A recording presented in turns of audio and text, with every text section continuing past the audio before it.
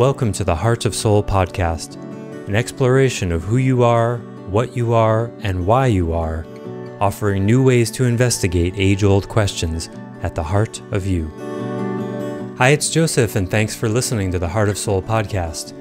In today's episode, we do a deep dive into sagehood and the differing metaphysical assumptions between traditional Zen and Edenity's take on mental body ensoulment. Especially important is how Edenity's take on healing the fear of not being allows for an integration of the impersonal realm, traditionally owned by Zen, with the personal world of the human. I remind you, as always, to please listen to this podcast from the beginning and in order. Thanks so much for listening. Well, greetings, everybody, and welcome back to, welcome forward, excuse me, to another episode of The Heart of Soul. Thanks for being here, Stace. We're going to be talking about sagehood in some deeper ways. Where should we begin today?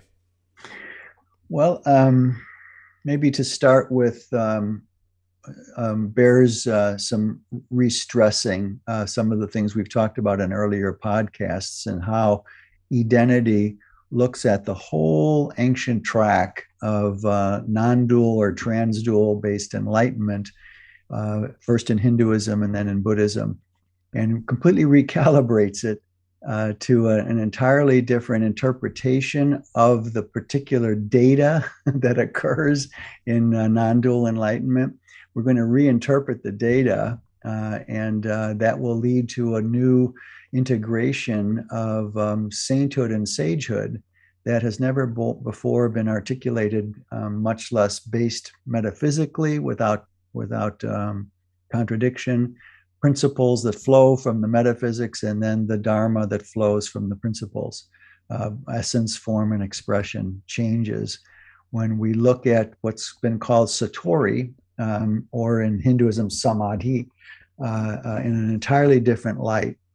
Um, so we'll go from that's what we're going to do today. That's the starting out place uh, to define. And in that sense um, uh, Edenity, as we've spoken about maybe tangentially in other uh, podcasts, Joseph, um, uh, how much Edenity is inclu- inclusive rather than exclusive. It finds a way, because based in emotivity of consciousness, it finds a way to integrate psychology, philosophy, Eastern spirituality, and Western spirituality, um, all without dissonance or without metaphysical um, collisions. And so, in, in that bigger context, um, sagehood becomes an ex- a completely different process, a completely different um, interpretive process than the one usually handled by a satguru or uh, some some meditation leader, or um, even if the meditation leader isn't even um, isn't even enlightened yet, uh, which there's a lot of those out there in the West. Sure. Uh, so, uh, what I want to say first is um, uh, there's a way, of a phrase that um, goes right to the point of the differences between sagehood, pre non dual based sagehood, and what's been usually called or referred to as the sainthood path of a, a soul's um, relationship with divinity. It's it's uh, prog- uh, we're progeny of divinity. Um, but there's a phrase that's um, where one word really makes the distinction between the two, sainthood and sagehood, but um, also uh, integrates them. And uh, for sagehood, for non dual based sagehood, um, I could say, and this phrase came to me um, after my own event. Um, let's see if I can remember. Yeah. Uh, each moment, the day pours itself into me and gives me a, a world to live as. Hmm. I'll say that again, it bears repeating. Each, each moment, the day pours itself into me and gives me a world to live as. This directly um, uh, relates to the Buddha's um, picture of things that um, says there's no difference between experience and the experiencer. So, whereas in sainthood, and I'll come back to this in a moment, um, the phrase would be each moment the day pours itself into me and gives me a world to live in. You see the distinction there? Mm-hmm. That's There's an experiencer and a, an experience in the sainthood version. Exactly right. That difference between in and as uh, is big enough to drive a paradigm through. Um, and uh, that that distinction is really important um, because after Satori or after what's been called non-dual enlightenment, that we call, of course, mental body ensoulment, um, uh, there's no central I in the same way there was before, a sense of I that drives choices, um, is one way to put it. In other words, the day unfolds and tells you uh, what, what, what's, who you are or what you are or what you're going to do. Um, when um, when uh, uh, Da Free John, I always forget his, he had seven or eight names before he passed. Adi Da uh, was the last. Adi Da, name. yes. Adi Da is, um, is, is his last more poetic one. Uh, as we spoke to uh, at some point in the Franklin Jones was his original yeah, name. Franklin Jones, right? Yeah. But when someone asked him what the secret of enlightenment was, of course he he put up one finger, uh, and that everyone thought, oh, that's the one thing. Um, uh, and uh, and it wasn't the one thing; it was the I. he was he was showing there. Uh, that there that the I is the fulcrum um, that decides and opts and chooses and reacts and reacts. And when you take away that I, um, then an entirely different uh, mode of consciousness kicks in, where you're not the driver, but experience is the driver. So that's why, for me, that sentence that came out of me um, each moment of the day pours itself into me and uh, gives me a world to live as. It's unfolding without an I agent to the degree that the I agent was there before. And that's a fundamental premise in Edenity sagehood path is that it's not that the I was an illusion all these centuries or, or, or um, millennia. It's that that that, it, that we were over attached to it. In other words, the mental body, as they say in their own metaphysics, when they have metaphysics, um, uh, to a te- to their teaching, um, uh, uh, the I is a, is a complete illusion of the way the mind um, uh, um, experience, dualistic experience, creating an inner dualistic I as representative of or whose parent is actually experience, uh, that that I, and it's an illusion. And of course, uh, uh, the Buddha never never took that, as we've said in an earlier podcast. I think the Buddha never took that track. He never said the I was an illusion. He simply said there's no difference between the experiencer and the and experience. He didn't even use the word the, the phrases non-duality. Um, mm. They uh, I forget what the uh, term is in uh, in in uh, in Sanskrit or Hindi, uh, Hindu, but um, uh, in in Edenity follows this track here in that it's slavery to the I that is created by cathection of dualistic experience. It's slavery to that that's the issue in enlightenment, not the illusoriness of it. And it's that was old... that was built into the um, the cause of suffering being uh, attachment and over identification. The Buddha did teach that, you know. It, it did. He did. Um, but it only when it moved to China and Japan uh, following uh, did the analytics in the um, metaphysical theory of things get kind of twisted up here and that's largely what survives to the day to the to present day as these twists that um, the movement to uh, chinese uh, intellect is extremely um, focused and analytical and precise uh, Japanese, uh, not quite as much, but it's a little more. Uh, they're a little more emotional than the Chinese. That way. And so there's a little softer version of that. But still, oh, it depends, of course, on the teacher. It's, it's that's a generalization. Uh, we don't see any racism. Uh, we see cultural uh, uh effects of uh, on consciousness, but not racial. Mm-hmm. Um, so the point here is that um, Edenity, uh, if there, if if even the Buddha did not go so far to say that the I was 100% illusory. Um, he he he never offered um, uh, uh, metaphysics to his teaching. Uh, he just offered experience. and the uh, the walking enlightenment uh, uh, style uh, that um, that answers every question without having to go into an- analytics, which uh, are a product of the mental body anyway. You see, yeah. so an over an over reliance on analytics is also part of being too much a slave of the mental body. So these are important um, ways of discerning Edenity's picture of things. Um, and in that sense, uh, Edenity's personhood track um, asks the question, Who am I? Um, uh, the sagehood track, What am I? We'll get to that a little bit more heartfelt in a moment. What am I?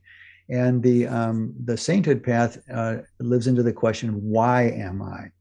So in the sagehood uh, track, we're looking at what am I? Um, and uh, for uh, for personhood and who am I, there's a little triad that I like to uh, summarize. Personhood is the Dharma is feel, reveal, and heal.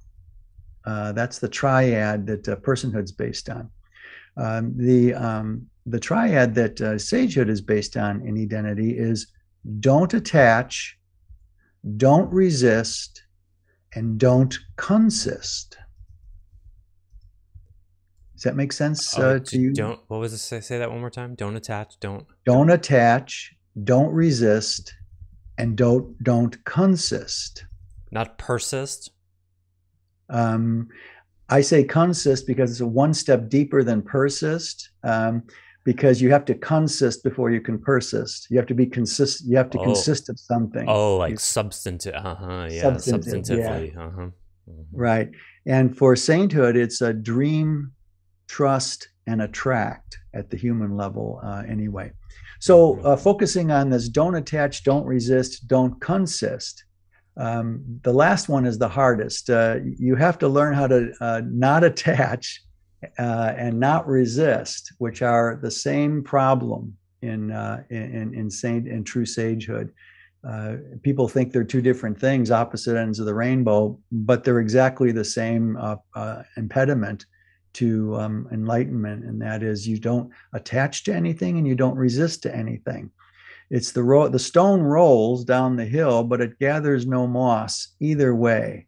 It uh, it doesn't stop uh, it isn't stopped by the trees rolling down, it goes right through them. Uh, and it doesn't resist go- uh, by going around the trees, it goes in a straight line. Uh, in turn, the straight line being a metaphor for holding the focus to the ultimate background, um, which is the what the non-dual, which we would agree with in that way. Um, but uh, when you reframe, as we'll get to a little more in a moment, the non-dual to pre-dual, then there is an, a new ultimate background um, um, out of which all uh, all existence uh, and creation uh, arises now and now and now and now. I was I'm was working. I use a personal uh, experience here. I was work. I'm working currently with a woman um, uh, uh, here in the town I live in, and who asked me um, if I would personally tutor her in um, in, in uh, enlightenment practice. Um, and so she's got her own uh, tabletop guru, uh, even though I'm not a guru. Uh, I'm just a human being who's attained some certain um, uh, levels of consciousness that seem people seem to want and want to know more about. And uh, she was telling, I told her originally when we started this, because she also has third eye um, intuitive gifts uh, which is under the sainthood banner in Edenity, of course, because it's uh, it's not nothing, not no thing. It's an actual thing thing, even though it's not, it's not a yeah, not contentless. Yeah, exactly, not contentless. Um, and she said that I told her that uh, likely if a person has third eye um, capacities, as we zone in on the central focus of, of pre-duality, non-duality, pre-dual non-duality, it's going to enhance um, third eye capacities and enhance by itself uh, certain gifts you may have in your access to divinity, uh, that whole relationship you have with divinity. And so she was t- she was showering recently, and she told me that she could see. She started the last few weeks uh, to see behind the shower spigot and the, sh- and the wall of the shower to the vastness background behind it. Mm-hmm. And uh, I told her, well, you can see there's there's your third eye activating to the next level, peeling that onion at the same time without even trying, just by seeking the the, the non-dual track, um, seeking it non-seekingly. We'll get to that too, I hope. That's Uh, the and- third eye thing, seeing the the canvas Yes. behind duality. The third eye does that. I never really. No, um, uh, let me complete. Okay. The, be- the most she could get is this vastness uh, behind it, but the vastness was not empty. It was kind of pulsating with oh um, yeah, that would be third eye. energetics and Yeah. all that. And I and I re- I reflected back to her. She thought that was the ultimate background. as She many still- people do, and they stop there. people do. Yes. Exactly right. And I said, there's a there's an actual background to the background. Uh-huh. Um, and that is this pre-dual, non-dual, um, white canvas upon which all energy and matter is painted. And That's that like sense, seeing the primer coat, but not the wall.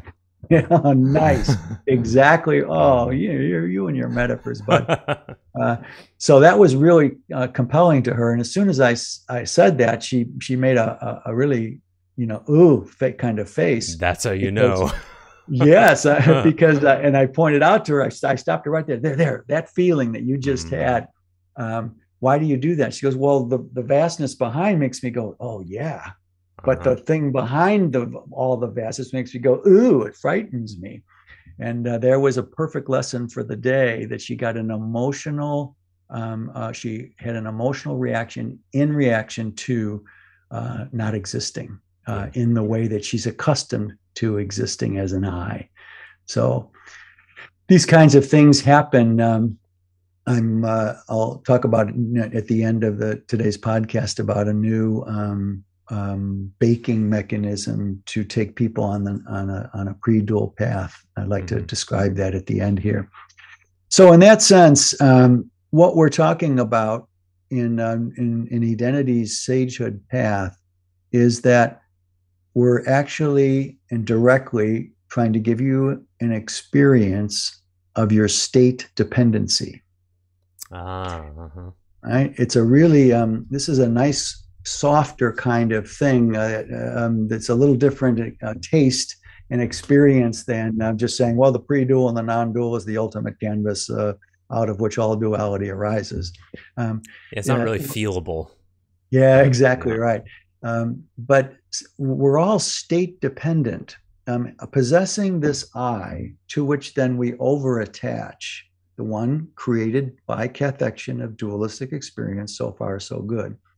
But um, it doesn't render that uh, illusory um, just because our I consciousness is created by um, a dualistic experience doesn't mean it's an illusion any more than just because you may have confirmation bias doesn't mean you're not doesn't mean you're not right And just Um, because you're paranoid doesn't mean that yes. people aren't coming to get you. Exactly right so um, this one distinction uh, uh, upon this one distinction pivots everything in uh, in Edenity's uh, recalibration of what sagehood involves metaphysically it's not about exposing the illusory nature it's exposing the illusory emotional based attachments we have to that I that was initially conditioned into us by dualistic experience. Now, I don't say that- imagine the Buddha frame, framed it as an emotional thing because that was 2,000 years before people cared much about emotions. That's exactly right. 2,500 years. 2,500 years, uh, 2464, I think, Yeah. if I remember right. Um, at any rate, um, that's that's exactly right. In fact, no current Zen or um, or, or uh, um, Advaita Vedanta uh, version of it would use that terminology or that picture of things that could be described in words in the first place. Um, it's our emotional over attachment to that I. Now, that means if there's an emotional over attachment to that I, what's the source of that emotional over attachment? And that is our wounded, that the source of that is our wounded soulfulness Mm. Right? Uh, um, there, the, remember, of course, it was we said many times. Um, uh, the Eastern Path was uh, uh, um, uh, um, begun in a pre-psychological era, um, and so oh, we wanted the motive for the Hindu ascetics at the time was simply to be liberated from the Maya of mass consciousness forms and expressions. They wanted to be liberated and be uh, their own Sadguru and and uh, become renowned and, and, all this, like uh, Krishna apparently was in their in their track. Um, but it was it was all pre-psychological, and so this is an update um, of the Buddha's teaching relative not only to psychology, but a redefinition of psychology that we are, our consciousness mm-hmm. is emotive, emotive based, um, not um, mental, physical, uh, or even energetic based. And that's what um, allows sagehood and personhood to coexist in Edenity. Otherwise, there would be no bridge. Exactly right. And it's exactly that emotive bridge that links sagehood and sainthood also. It's just that the uh, emotivity that links personhood and sagehood is more localized uh, in in the present life, not ex- not always, but more. And uh, the one uh, that links the emotivity from sagehood to sainthood is more of existential uh, level emotivity. Um, there's where our terrors of um, not being and non-being kick in. So, um, in these senses, in, in, all these domains, um, we're when we over emotionally over attach or emotionally over attach to resist uh, you can emotionally over attach to attachment or overly over or over attach emotionally to resistance um, resistance is also emotionally driven um, and so that's all our wounds that either need to resist or get married instead of just dating resistance. we get married to resistance or we get married to attachment instead of just dating it. We can't help but attach to what we like and, and resist what we don't like. That's fine. It's all a matter of degree, though, in, in, in Edenity, not structural, not structural. In other words, it's just a it's just a, de- a degree that we're over attached or over resisting. That's the problem, not attachment uh, or resistance in the first place. Uh, you, you see the difference there? Uh, attachment, uh, attachment and over identification are not intrinsically bad. Is that what you're saying? Yes. Uh-huh. What Say I'm saying, yeah, it's um, it's about it's about how sober our consciousness is is rendered or not rendered by the lack of healing our personhood before we ever get into a sagehood path. In other words, in the same way that um, uh, the I was created by uh, cathection of dualistic experience, um, doesn't mean that I is an illusion just because we overattach doesn't mean that overattachment itself is a, is the structural problem. It's ah, just okay. So it, it's it's problematic, but not necessarily the intrinsic structural issue. Yeah. Necess- what's necessary but not sufficient. Um, that's another way of uh, yeah. doing that. Well, that's related to the, there's a third thing there that that I saw because without that distinction, then people can become over uh, attached to unattachment. Correct. Right. Absolutely right. That is the mechanism of over attachment to non attachment. Yeah. Is that uh, when they feel it's structural, then they've got nowhere to go, but then also uh, go that route. But even many uh, gurus on their track or, or enlightened teachers and leaders don't get how much they're over attached to non attachment. And that's creates a transcendent relationship to waking up versus a healing fear relationship to waking up, which is a distinction to, that big enough, as you would say, to drive a paradigm. Absolutely right. Uh, that's why the the um, the recalibration of the non-dual to pre-dual, rather than the um, default kind of way du- non-duality is held as as trans-dual, trans-dual uh, if you reframe it pre-dual, that that the um, the not the um, abiding uh, no thingness um, uh, advaya of um, uh, uh, of of enlightenment is is something out of which everything arises. All duality and distinctionability arises. If you look at the non-dual as pre-dual, uh, nowadays when i'm helping people do this i ask them you know, no, don't just watch what arises. Focus on what what it's arising out of. Right. Yes. More contextual. Yeah. I run into the same thing with people. You, it, when you focus it that way, you don't get lost in tracking, which can hit a hit a hit an, uh, a status quo, a stasis that's just you know can last for years. Yeah. Um, and remember, they say arise um, uh, um, uh, uh, and and dissipate. The dissipation is trans based. See, trans based. Mm-hmm. Exactly. So that's exactly why what you just said has become the default um, meta orientation of most um, non-dual teachings is the dissipative or the transcendent version of, of where all duality goes to die. Edenity says, "Whoa, hold your not horses." um, uh, well, we want to focus on what does duality arise out of. And since um, the, their metaphysics of the, of the 2400 or 2464 um, uh, amount of uh, teaching out there, both from Hindu and Buddhist sources, um, w- w- since the, this is no thing, um, there's nothing to really um, look at there, um, what duality arises out of, because it's insubstantial, tabula rasa, featureless, contentless. So there's no reason to look there.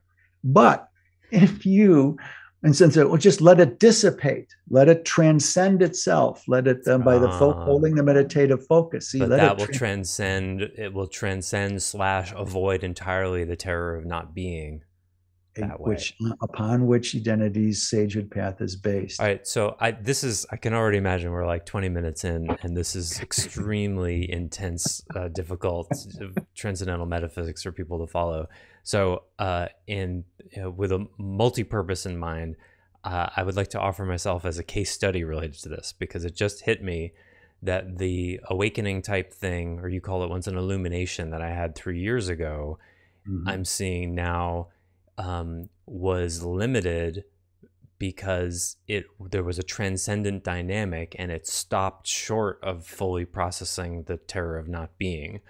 Yes. I was experiencing the terror of not being, but I didn't get all the way through it. So I ended up with a transcendent awakening, not a healed fear of being awakening, which yes. was on the way, but not complete. Oh, so clearly said, uh, Joseph, and, and that's so that's so right. Um, you uh, when you try when it's based on a transcendent view, um, this is why that became the default meta orientation is because no one ever defined the primacy of consciousness as emotive. Mm-hmm. Once you once you um, uh, uh look at what look for a long time at what uh, thoughts uh, and arising dualisms in your head or whatever arise out of, you'll find that it's not a no thing. It's featureless and it's contentless, but it has a being a being to it that is indescribable but experienceable. So, um, what your illumination did uh, it was just like you said, based in Zen, which is uh, um, completely transcendent based, um, even cleaner in some ways than, than Advaita Vedanta, because it's the esoteric form of Hinduism. And Hinduism has all sorts of um, colors and yeah. textures and complexities to it, whereas Zen is the black and white ultimate um, track, um, but it's based in transcendence. Mm-hmm. So um, by focusing on what what over time inside of an emotional, emotive first basis of consciousness,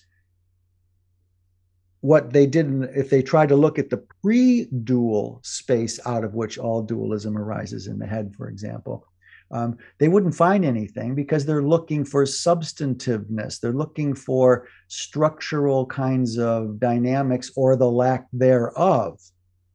When when Edenity when Edenity does it, what does it feel like? What does it feel like the dualisms are coming out? When you take that track based on emotivity as our essence of consciousness, you will begin to sense the being out of which duality arises, which is very different being, uh, more in the direction of what Advaita Vedanta says, but then even uh, parts with that uh, way down line uh, uh, goes another whole direction with that divine being that you can sense. So, so uh, how do I say this? I've heard um, Adyashanti has talks about the the terror of not being. He wouldn't use that term exactly, but he talks about the that fear of um, coming up. Mm-hmm. But it it. But I heard him once say that like some people have to feel that and some don't, and mm-hmm. the the I think the orientation that is really important is well just that. It's like it may arise, it may not arise. If it does arise, then you know just be with that but we mm-hmm. would take a very different like far more proactive investigative and emotively engaged version of that like no that terror of not being needs to be reveled in needs to be allow it to yes. consume you and yes. then my second my second point is a question does that need to be felt in the presence of another as in personhood because in personhood we would say the wounds the childhood wounds are uh, formed in relationship, so they have to be healed in relationship. Does the terror of not being also have to be experienced with another? It's a really great question. Um, uh, I revel in uh, the, the, every time I open the hole in my face or my hole in my face opens on its own. um, uh, I want to be asked a question I've never been asked before, and this question has never been asked. Yay! Before, right? cool. So um, the answer is um, it depends. Uh-huh. Uh, our, because our picture of yeah our picture of things is that um, um, young young adult teen, teenage level souls which means just number of incarnations that's all just the number of incarnations and young adult um, uh, the, the number of incarnations they, they they tend not often to feel that um, terror of not being because the place their consciousness is in maturing in its arc of incarnation in this most dense terranic universe we call matter, matter energy, dark energy, and dark matter, uh, and gravity, of course. Um, uh, uh, once you're around the block more than 350 or 380 lifetimes, um, you do begin to feel this default terror and old these older souls more incarnations not more worth not better just more incarnations mm-hmm. when they've encountered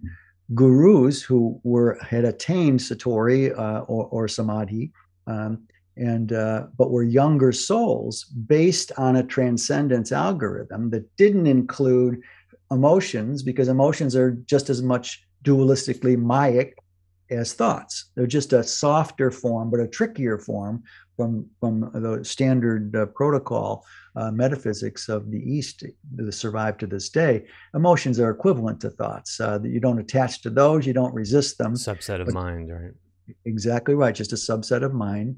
And and as you just said. Um, the uh, the uh, uh, over attachment to non attachment comes out of that, but the deal here is is just what you said.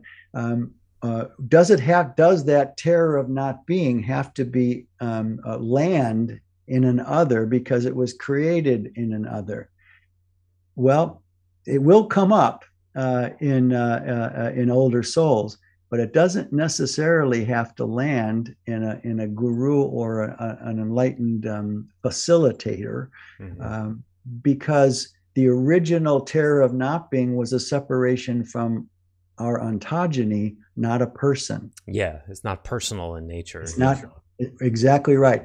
Yet, and, and I want to be careful on this track because one of the things that Edenity takes strong issue with in Adi Da's teaching is that he, of course, held that you required the presence of an enlightened field of a of a master. Oh dear.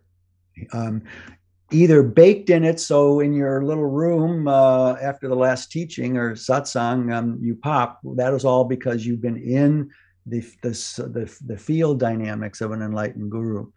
Um, and so for me to say that um, it's it's actually helpful and positive if it is received by a like-hearted like-and-souled being just because that's true doesn't mean it's required Mm-hmm. Uh, another sufficient, necessary, but sufficient but not necessary. Mm-hmm. You see, mm-hmm. so um, the answer to your wonderful new question is yeah, it's a gift if that happens. Yeah, but but if you're on a track with a, a, a, a an enlightenment facilitation track, which I want to talk a little bit more, like I said at the end here, um, uh, where that happens, um, uh, your your if you experience it start to consume you, this terror of not being, which we invite you to do because you've created enough emotive self center to allow yourself to go to the death of yourself.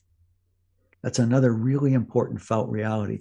That's why personhood needs to proceed to some degree, sagehood path, because you've got to have a, an emotive based center to be able to emotively stand and be able to let that terror of not being consume you. Right? Yeah, and if you can't handle, uh, you know, moment to moment uh, situational anxiety, you're not going to be able to tolerate the terror of not being, for example. Exactly right. So, um, and again, uh, when we Edenity has a whole different metaphysical basis for healing the emotive essential, the wounded, uh, the woundedness of our emotional, so emoto soulful essentiality gotta, gotta let this uh, hole in my face um, uh, take a, a, moment while I lick my lips here, moisten it. Um, when when when that when that happens, um, uh, the uh, the uh, sagehood facilitator would would remind the person that um, uh, to, would support that reveling, as you said. Let that just burn you up. That terror. Let that terror replace or be bigger than the I that doesn't want to feel it. Mm-hmm. Right? And that's the algorithm of uh, mental body ensoulment, our version of what's been called enlightenment.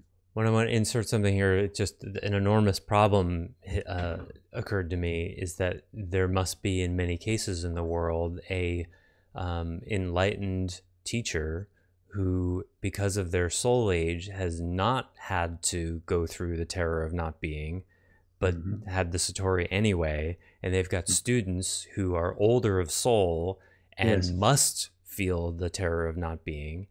Yes. And there's not sufficient guidance there because the teacher is going to say, oh, yeah, if that just comes up, then, you know, just allow that to be. But right. that's not going to be enough for that student who really needs yeah. help to steer directly into it in an emotive way, not just an energetic acknowledgement way. Oh, Joseph, um, that's the story of uh, 30 years of my teaching. Um, I've drawn people who are older souls yeah. who have had that kind of experience either in the present life or in, in previous lives and have come to finally heal it this lifetime. Uh, I've, I've worked with students from, um, from Osho, from the Maharishi, and from Adi Da, all who had that emotive thing come up as we're talking, and we're either directly or indirectly shamed um, that they're over attached to their I based emotional states. Ah, right, because that fear would be seen as a subset of mind. Exactly. Needing to be transcended rather than right. actually the governing dynamic of the path to the deepest enlightenment that we're talking about here.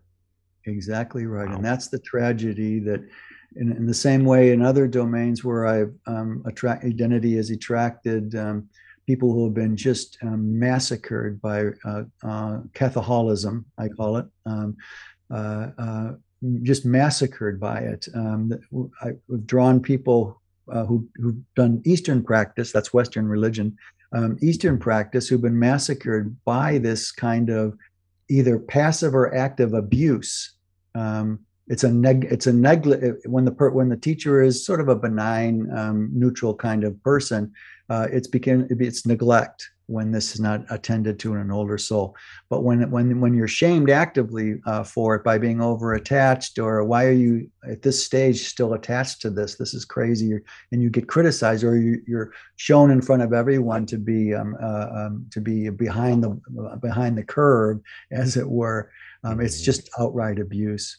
And now they have to repress that fear which yeah. actually should be embraced and encouraged up and now they got to push it down and that exactly. becomes a knot that they have to outwork mm-hmm. I, I, I could um enlightenedly enlightenedly sure. uh, uh, um, work with a, a, teen soul a, a younger soul in their late 200s or middle up to 350 lifetimes and and and tutor them through uh, uh, their version that does not necessitate an emo- uh, a terror of not being, um, it wouldn't come up as much, or if it came up a little, I'd support it to the degree they can. And at that at that le- um, younger level, that might be enough to pop, mm-hmm. pop the, um, the the bubble, as it were.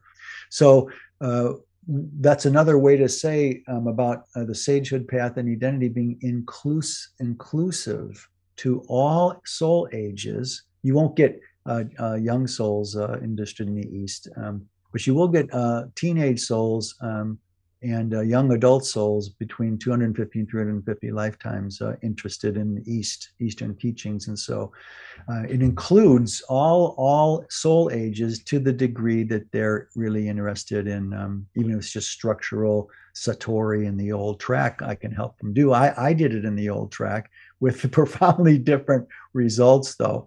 Um, in my track, which was the Pure Zen track, um, I found the um, terror of, of not being coming up so strongly that I brought it to my teacher, and he, benign, lovely guy that he was, um, didn't support it. Of course, as well. That's just more Maya. Um, watch mm-hmm. it until it dissipates. Just watch it until it dissipates. Only it, it got worse and worse and worse the more I meditated upon it, or watched it, or became mindful of it. Um, and so it got so bad that I think I mentioned before my meditation bench uh, was uh, became a torture uh, device mm-hmm. for me. Uh, I, I, looked at it all day long in, in dread to go do do my sitting. You know, um, so mine exploded. I, I, I it was uh, it, it, set me afire, and um, I couldn't I couldn't put the fire out. The pain, uh, the terror was so big, and that's what put me over the um, through the eye of the needle, as it were. So it's a really good point. Um, it's not uh, um, necessary to mental body and soul, um, but it's it's um, sufficient. Uh, uh, this ter- processing the terror of not being. And I also wanted to say there's an important context here that I think is not usually appreciated because there's so much Zen sort of grafted into New Age spirituality, and there's a lot of uh, Eastern Dharma that has trickled into semi mainstream consciousness here and a lot of assumptions that people make, you know, with like the phrase when people say, oh, just let it go, you know, mm-hmm. about whatever it is, they don't necessarily realize that that's, you know, firmly rooted in Buddhism. And that's an idea that is 2,500 years old. And what is appropriate to let go and what not? And what does yes. that actually mean? And can you really do it? And all of that. Um, right. And that we have, I think I said this in a previous podcast about how um, enamored the West is with the East because we didn't grow up with the conditioning of it. The same way in the East, they think right. Christianity and Judaism is really cool. Uh, yeah. because they didn't grow up with it and they're not so we in the 60s and 70s the east came here through people like alan watts and, and other sure. entertaining people like that and uh, what's his name uh, suzuki and yeah. um, there's this idea of like, oh, well, because this wasn't just a distorted part of my childhood conditioning, that it must be some squeaky clean, perfect paradigm. And yeah. so I'm going to dive into that. And I think a, a, lot of people are hitting the limits of that and finding those distortions. And that's where yeah. I think Edenity can really help people see where they've hit limits, like I have. Yeah. It's, um, and again, we, Edenity not magically draws uh, people who hit their Peter principle in this mm-hmm. way. And they and if they're if it, if they have the capacity to get past that Peter principle, they'll be drawn to Edenity. They will find it. They will find it. They sniff it out in unconscious, soulful ways and find Edenity to help them sort it through. So um, I loved your personal um, story there, Joseph, because again, it brings the rubber to the uh, to the road here. Um, what what it really means to um, redefine or recalibrate um, what non-dual enlightenment is um, and what it entails. In this way, um, the Buddha's um, uh, uh, original assessment of the middle way, don't attach, don't resist, against the Hindi, Hindi ascetics, Hindu ascetics who are resisting hunger and we're resisting bathing and resisting um, mm. uh, thinking, uh, right? Attachment uh, Buddha, is non-attachment attachment and non-attachment becomes its own state which then the whole point was to not be attached to any state. But you know yes. it's it's so funny because that happens you know everything everything that replaces the old thing becomes a new version of the old thing. That's just what humans do. Especially when we're still we try to do tr- change or transmutation or, tran- or transformation um, uh, using the same definition of consciousness that the previous generation of thought uh, yeah. utilized. And here's where, of course, Albert um, Albert E said you can't solve a problem at the same level the problem was um, instigated. Mm. You can't use well, we're mental body. Our eye is a mentally um, a mental um, ephemera created by dualistic experience. Uh, or it's just a way neurons put together a, a quantum uh, quantum array of um, of I-ness uh, that results in an I-ness. If you go with the body creates consciousness or dualistic experience creates personal consciousness, either one, you're going to just fold over all the errors into the new version, uh, as, you, as you just said. See, so it's only by rocking the whole, not just rocking the boat, but torpedo torpedoing the boat, mm. that the I is either created by brain tissue or by simply by cathextion uh, to um, dualistic experience. We have to torpedo both those boats, sink mm. them all together if you want to get past your Peter principle of, and avoid folding over attach uh, oh yes i'm going to go into the forest and not eat and not bathe for a year and grow my beard down to my toes um, and um, all my teeth will fall out because of vitamin c deficiency but i'm on the road to enlightenment uh, uh, you're attached to non-attachment and you won't know that you are uh, because it's still dualism um, mm. Uh, and and there is a there's a necessary. I want to say two things. One is it seems like there is a, a necessity to uh, what I would call the seeker. You know, that the, the the seeker is attached to the outcome of enlightenment. Otherwise, mm-hmm. there wouldn't be a sufficient uh, pursuit. But at yes. a certain point, that has to go because the the seeker is too much of a noun to um, to try to yeah. persist past that. And the other thing I wanted to say, just uh, another personal offering here, is the to to me the the uh, the powerful proof in what we're talking about has been for me that um, since uh, since returning to the personal about a year and a half ago and and doing uh, uh, ensoulment work uh, with with Bree, your wife. Uh, where I ended up a couple of years ago after all of the illumination stuff sort of went as far as it would, it's all mm-hmm. coming back, and it seems like it's the uh, emotional, personal work has mm-hmm. gone put me right back to where I ended up and stopped before, and send me sending me forward with no meditation, no radical self inquiry, no intention yes. for that to happen whatsoever. It, it seems very clear that like the the the wall that I ran into which uh-huh. we would theorize as being um, personal emotional stuff by addressing yes. that the, that uh, that that logjam un unjammed and now it's proceeding on its own accord and i know we've seen that with other people too and uh, wonderful so clear what you say and and the the algorithm that makes what you just said possible is that everything you did was substantive and real mm. it just because you hit a, a, peter principle on it doesn't mean how you got to the peter principle was off path oh, yeah, you see sure. it yeah. just it just hit it couldn't go any further till the emotive unconscious emotive blockages in person your personal and all of our personal beings um, are somehow emotively uh, healed i had to do the exact opposite I, mm-hmm. I, I did I did I think I had three therapy sessions in my 20s and uh, 30s,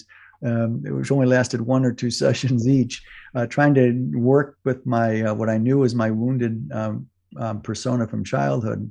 Um, but when when and this is really important too was when a, a, really deep form of enlightenment, even the old version that I that I did, um, uh, uh, in still in the Yang tradition of uh, transcendence. Um, uh, my my own uh, terror of not being happened in spite of that, not because of that transcendence path. Yeah. It happened in spite of it, right? Well, you and just so, said something very casual there that's important. That uh, transcendence is a yang-based dynamic. I don't remember oh. hearing that before. Oh yes. Whereas healing um, the fear is inclusive, include allowing that to be and, and, yes. and wanting to proactively feel it. That would be a yin dynamic.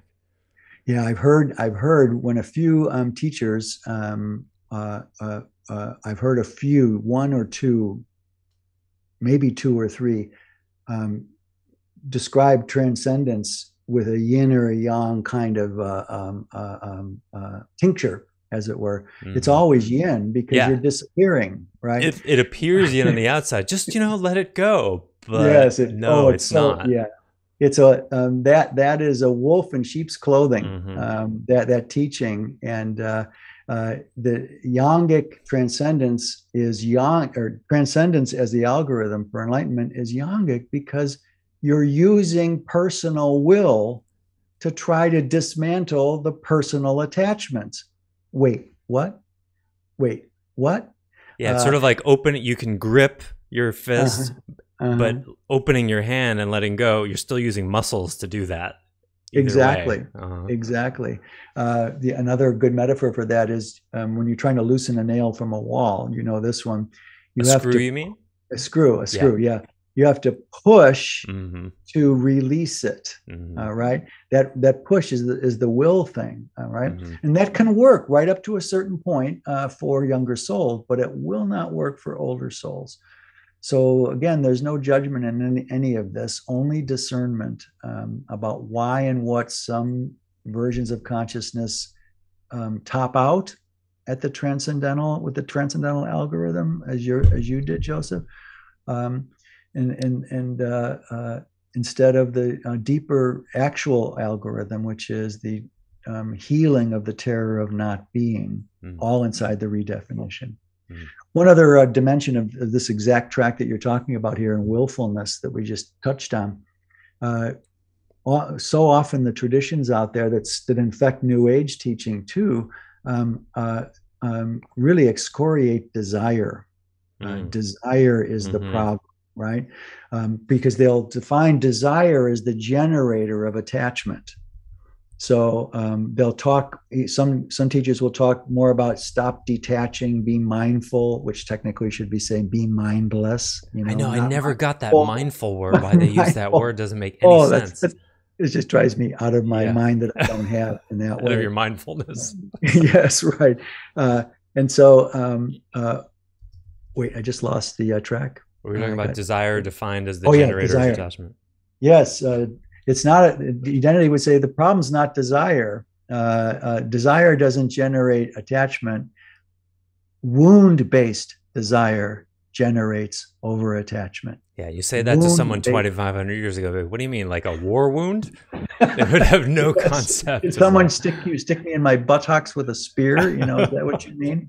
Um, so, yeah, uh, only wounds, unconscious emotional body wounds, creates desire to over attach.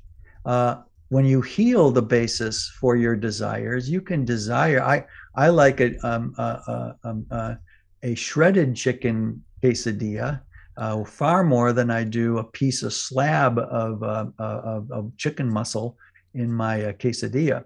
Well, you must not be enlightened then because it's oh, too I, strong I a preference. Be. No, that's right. Uh, and, and again, again, desire or preference. That's the the the little lighter form. Uh, that, yeah. That's desire light is preference, right? Uh, desire light. you, you, to to have to, to have preferences is to be unenlightened. I've heard mm. actually someone say that once. Um, mm.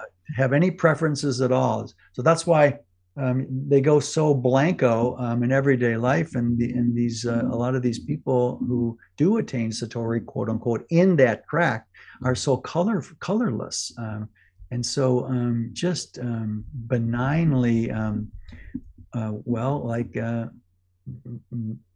E.T., uh, who uh, has Spielberg that E.T. Sorry, the Spielberg E.T. No, the um, Eckhart Tolle. Oh, it's like what?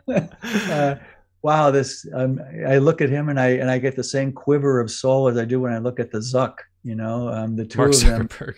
Yeah, I have the same sort of whoa, dude. Wait, what? Um, and this is why when heart. people take that paradigm to its logical conclusion, they seem so impersonal and yes. and not alive um, but yeah. which is not what the reports were of Siddhartha Gautama, the Buddha. He was very very alive and warm and I, I, had the same ex- experience. Not to compare myself, but um, I had a I've had a similar re- uh, reaction to me to my to um, teaching over the last 30 years or so, 25, 28, 30 years. Um, I'm not recognized as uh, enlightened because I'm too warmly human. Um, I'm not detached. Um, I don't walk around uh, uh, uh in guru clothing. Um, um, I dress basically sportive, um, and so uh, what uh, not recognized because my my form of enlightenment was an ensoulment, and the parameters and uh, to be able to discern that would require that the observer or someone who's listening to me have gotten a certain way f- along that emotive path to recognize wait this guy he he does know what he's talking about. I just don't get that credit up front um, and so well the uh, conditioning it's remarkable the conditioning about yes. what enlightenment is is so deep you know and and i i, I remember um, back in the day one of your favorite questions was what is the point of and what is the point of meditation and what is enlightenment to groups of people and i've done that myself and even people who haven't read any mm-hmm. books or anything it's amazing what they will say because it's all they're all speaking to the transcendent version of it yes. and so they see someone who is like above it all and doesn't have many personal interests and they go oh that person must be enlightened which yeah. is an un- unconscious uh, desire to really not be alive and not have to participate as a human being in reality exactly uh, right and um, that's just such a tragedy well, it's there's a there's a global like the trade winds that go around the Earth at the equator um, uh, and go in opposite directions in the upper and lower hemisphere, et cetera. Uh, the world's uh, global consciousness, just like uh, Catholicism, is represents a great. Even though there are good things to all religions, of course, there are a good side to it. the toxicities in, in Catholicism uh, have been baking for a thousand years or longer, uh, um, um, uh, fifteen hundred years. Yeah, it's the same as it's better to give than to receive. It's the same kind absolutely. of things that persist. Mm-hmm. So even if they, like you just said, they don't do a lot of reading, it's in the system. It's in the global consciousness, mm-hmm. the transcendent version, and Edenity's turning everything upside down and saying, no, it's a prescendent pre-ascendant, um, uh, prescendant um, algorithm, not transcendent. Uh, the prescendant gets all the job gets the job done without any of the downsides of the transcendent. Um, uh, and so, yeah, you once said uh, healing creates a natural transcendence, but transcendence does not create a natural heal- healing. Exactly right. Uh, there, there's a even boy. I like that guy who said that. Uh, that was you. So, yeah, but, I know, but that's what you remind me because um, when I said I want to just finish a sentence I said 15 minutes ago, um, I mm-hmm. had the opposite as your experience, where uh, uh, the the um, you had did personal work for a while, and then there was a rupture with that, duly noted, um, and uh, then you took the other track uh, in a couple of different dimensions of transcendence um, mm-hmm. out of the personal. Um, and then f- rediscovered the personal from a new basis, having aerated a lot of your consciousness authentically. Yeah, it got me out of my mind, which seemed to be quite critical. Mm. to find your soul, I get and heart. Yeah, yeah mm. so right. Yeah, but but I had the exact opposite. Um, when you had an event like I had, it seals off. It literally, it cuts off access to the personal. Mm-hmm. I had to fight my way back to the personal to even get a modicum of working on my bloody wounds. That's why I've had such a disasters happen to me in teaching. My teaching authority is because my own unattended um, uh, personal being uh, undermined my teaching authority as a spiritual educator or a teacher and uh, that that's exactly what um, uh, caused those things and and there's no excuse just an explanation that when you have a, a really um, uh, an austere uh, zen based enlightenment that was literally tabula rasa for weeks and uh, a month or two afterward you your access to actually get to the personal to do the bloody personal work is rendered almost impossible. So I needed chaos and failure, chaos and failure, failure and chaos to, to find you back around to it. Just yeah. to steer me back around. So all the things that um, I, I, I can I have such regret and remorse over is all because I was cut off. Not all. There was other dimensions yeah. too. I cut off from my personal. Um, and so judge me if you like. That's fine. Uh, stick with what you feel. Whatever you've had experience of me in that old way, that's fine. Um, just know that um, try, try getting back to the personal and look at your own personal stuff when the personal is just it's not gone. It's just unfindable. Yeah, and, uh, and you, I'd heard, I've heard you talk about that before I went on my uh, Zen journey, and I have a much greater appreciation for it now. There's really no conceiving of it because if I had gone all the way, I don't think I would have had the ability to to come back to per- the personal, I, and and uh, you know the the strength of soul and spine that you have um, I would say is is observably greater than mine. One, and two, even then, even with that, you had to endure some serious personal tragedy to steer you back to to look in, inside yourself. It wasn't just like, okay, well, I'll just decide to do this. Life had to sort of cram you into the box to do it. And exactly right. I, uh, fail, I, yeah, fail again, fail better. Yeah. Right? Only crisis um, uh, um, in three or four uh, seminal moments in my teaching authority uh, uh, got me finally onto the track. And then meeting my mate uh, was the icing on that cake, of course. But well, the, the point meeting, meeting my mate was one of the things that crammed me back into the box. I don't think it would have happened without that for sure. Yeah. So yeah, we don't want to. Right, right. Uh, there are some moments where, w- without your uh, uh, your a real mate, a real soulmate that you call to, which is a train wreck made in heaven. yeah, which almost exploded many, many times. That was my version of that. Of just because sure. for me, I wanted to insert this to sort of complete my story. Is um, uh, what I've discovered and am discovering. I think I think I'm over a, a hump now um, with it. Is that it was um, some very subtle unconscious control where I mm-hmm. had a um, an inner monk, that a wound based inner monk that mm-hmm. was using the uh, Zen path as a way of relating to reality. Um, that it, it, and as long as that's there, you're not going to be healing the fear of the terror of not being. He was never interested in that, even though I mentally knew that he was. Right. He wanted to transcend, and so I did, and that's yeah. exactly why I stopped. He stopped it. I think he he made sure I got eighty percent of the way and just stopped. And now right. that he's outworked and there's more me differentiated from him, the train is going down the hill and he's like, "Oh shit, this is exactly what I did not want to happen, but it's of course what I do want." Yeah. And that and that's the distinction between a transcendence based um, track and a emotional based track is yeah. it exposes the self imagery mm-hmm. that um, that so many Westerners have, whether they're in a mall yoga yoga class at the at the mall, um, uh, or or they are um, they're they're fancy themselves as seekers in the non-dual path. Uh, yeah. It's a self-image that's seeking.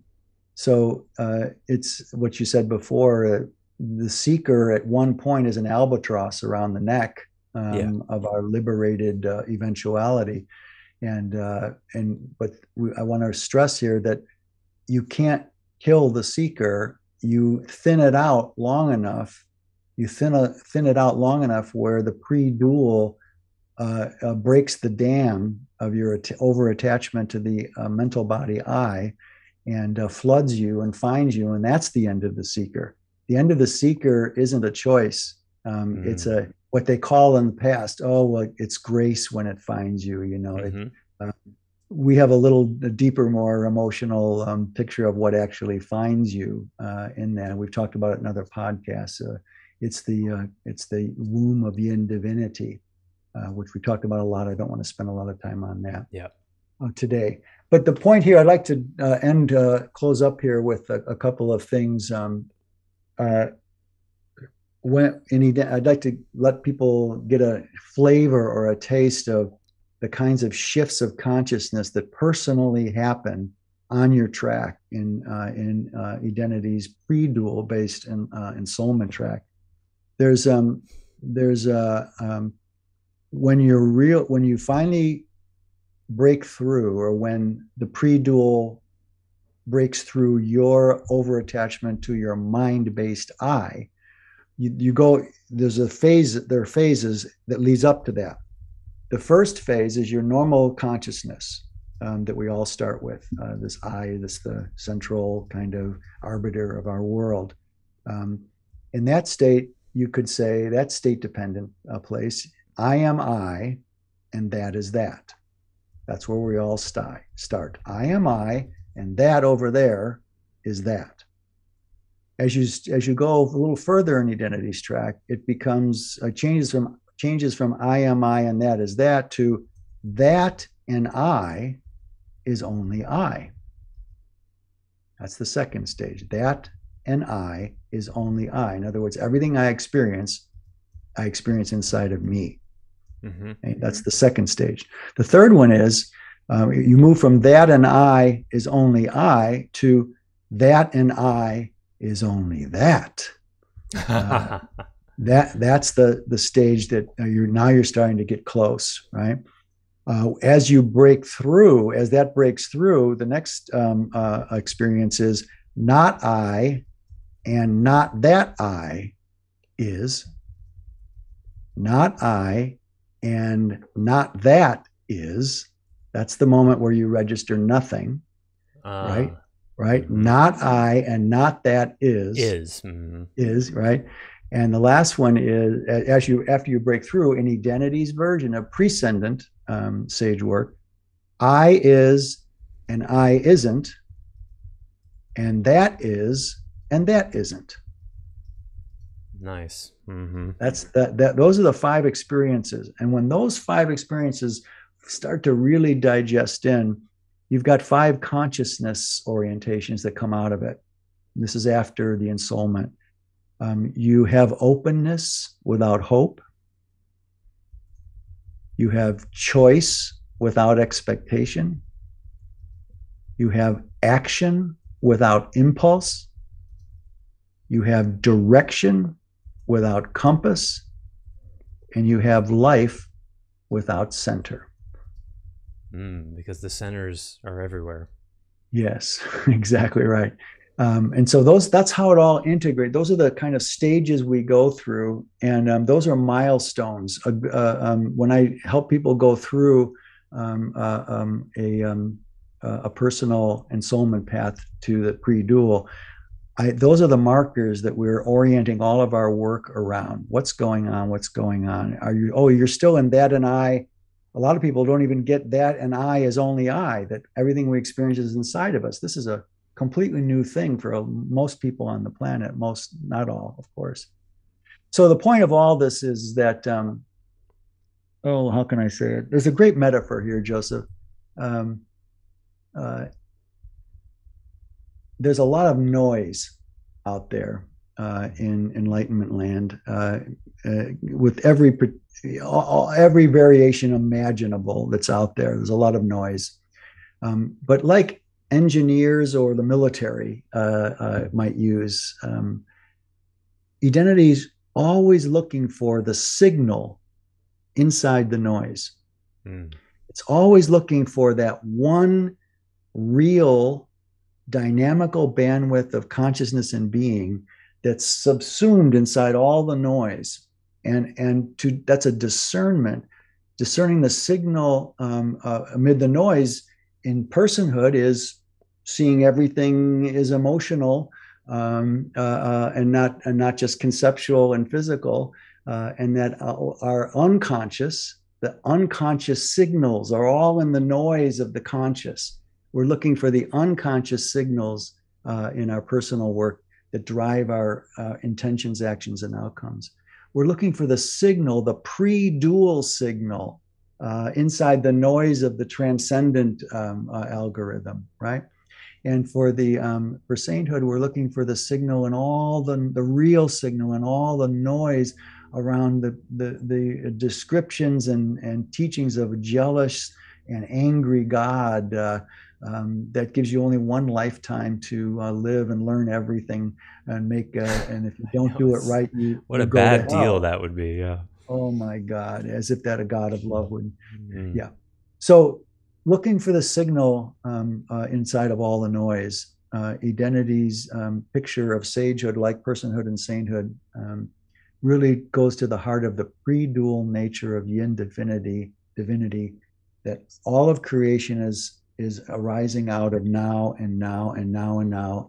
And enlightenment, what which we call ensoulment, and mental body ensoulment, because it dethrones the mind I, is um, uh, the moments of the um, empty space of the yin divinity's womb prior to our soul birth. And that's a fractal, uh, a deeper fractal of our soul birth that we reboot within when we have Satori and Edenity's uh, a version of uh, enlightenment practice. Our soul, we, as we said before, the moments before our soul was actually arose out of divine being is there's a bit of that pre pre pre existence that um, hovers around the roots of our soul being and that's why it's so hard to get back to those roots and find the, the pre-dual because it's it's way below it's you've got local then you've got existential and then you've got pre-existential uh, and that's the zone that Edenity sagehood path um, it looks for as the signal and all the noise going on in east and west on what it means to be enlightened wow okay well um, I think that's a good place to close. I also think we've got more to say about this maybe in the next podcast. Um, let, us um, yeah, there, that we we've hit we we hit high points in other podcasts. We hit middle points in this one. let's let's go one step deeper and get a little finer mesh uh, mm-hmm. a lens to talk about the maybe the experience of it more personally. Yeah, yeah, so, yeah. I'd love to do that. Does that, that make sense to you? Yeah. Let's let's do one more. Uh, it, it warrants it, I think. Mm-hmm. Okay. Well, thank you, Stace. This has been haha enlightening. I can't believe I said that. I'm embarrassed that I said that. Um, but I guess it was right there. It was pre-existentially uh, enlightening. Um, Reasonable. Yeah. Oh, oh, can can I add one other closing? I just just rose up. Um, you know, um, not many people know he's back from the 60s and 70s. He died in 1990, I think. Norman Cousins was a political analyst and uh, ambassador of sorts. He brokered the deal for the test ban treaty uh, through the United Nations and mm-hmm. the Vatican between Russia and the United States at the time. And he said something here that, oh, I, I, I read recently that is so Edenic. Edenic. Mm-hmm. He said, death is not the greatest loss in life. The greatest loss is what is what dies inside us while we live. Let me wow. say that again. Yeah. Mm-hmm. What death is not the greatest loss in life. The greatest loss is what dies inside us while we live. Right. And since this is um, what we've been talking about, which we will get into a little more next time, an, a sort of an ego death. We didn't use the word ego. I want I had a goal this this this podcast not to have ego anywhere in there and here i name it the bloody end yeah. but we'll talk about it uh, an ego death that also applies here what is lost inside us when we don't um, enlighten uh, our actual root of soul birth it never comes to our consciousness mm. uh, so mm-hmm. that applies in personhood sagehood and sainthood that beautiful amazing phrase by norman cousins um, and uh, what dies inside us, of course, is our authentic self mm-hmm. in uh, uh, in personhood. Our soul self's birth is dies inside us while we live in sagehood. If we don't do sagehood, if we don't do uh, sainthood based in emotive um, primacy, then our relationship with divinity remain must remain a belief rather than a direct experience, mm-hmm. and that dies inside us if we don't uh, discover that. So okay. yeah, that's where we'll go next, deeper into that All right. stuff. Thanks so much, Joseph. And again, thanks for your personal reveal. Yeah. And it's always um, so rich when you do that. Thank You're you. so welcome. And thank you, Stace. Thank you all for listening. And we hope you'll tune in next time. Bye for now. Thanks for listening to the Heart of Soul podcast. To learn more about Stace Barron and Edenity, please visit edenity.org. To learn more about Joseph Shapiro, visit clearandopen.com. Until next time, we wish you well on your journey.